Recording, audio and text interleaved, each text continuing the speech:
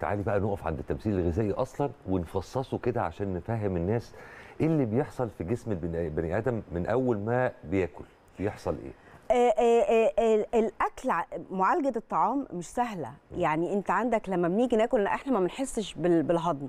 لكن معادله صعبة جدا. الهضم والامتصاص والامتصاص وتخزين العناصر المهمة والتخلص من الفضلات والسموم دي ده ده ده معادلة تركيبة صعبة جدا.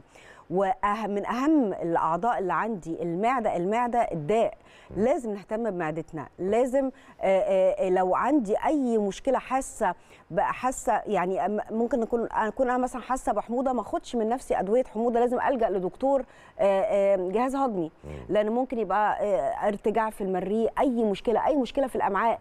إمساك مز- مزمن إسهال مزمن تقلصات ما أخدش ما أفتيش أنا وآخد دواء من نفسي. لازم أهتم جدا بال- بالمنظومة دي.